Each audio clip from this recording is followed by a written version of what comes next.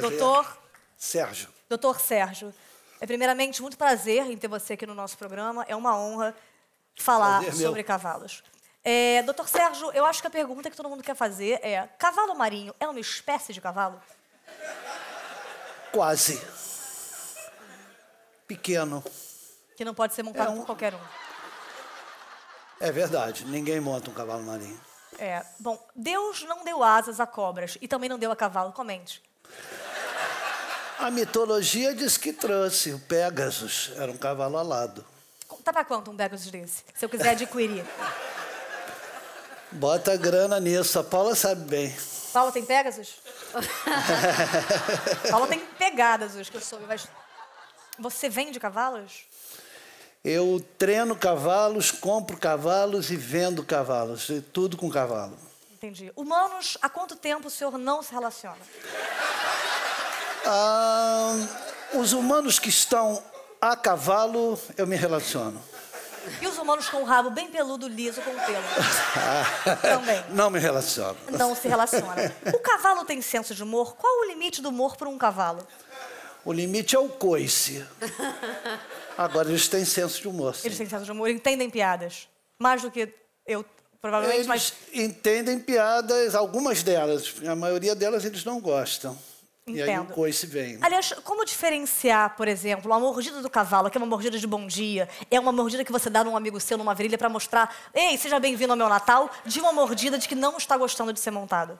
A mordida do cavalo é incomparável. Não tem nada parecido com uma mordida de cavalo. Eu sei, eu era alta, tomei a mordiscada, perdi um metro. O, o bife a cavalo, o que, que tem a ver com cavalo? Não deveria ser ovo a cavalo? Eu acho que o nome mais correto seria ovo a cavalo, porque quem está em cima é o ovo. É verdade. É? Qual o tamanho médio do pênis de um cavalo e como eu posso encontrá-lo? Tamanho médio é 50 centímetros. Você tem o WhatsApp dele?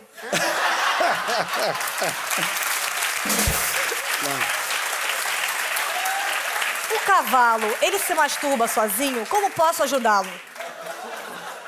Ele se masturba sozinho. E. e sozinho, ele, ele mesmo, com, com as próprias patas, ele faz movimentos. Ele encosta o instrumento na barriga dele. E aí ele se masturba. Ele encosta o instrumento na barriga e se esfrega no chão.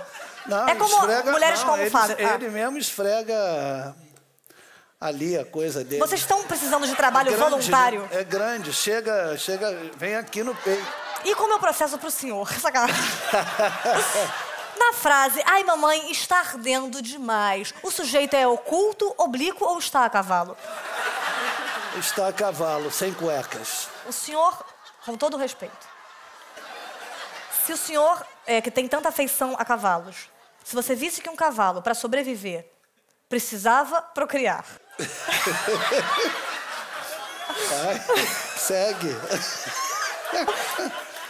não houvessem mais alternativas, doutor, era ou procriava ou ele morreria. Está apenas o senhor e o cavalo numa ilha. Como ajudar um cavalo a procriar sem ser julgado pela sociedade?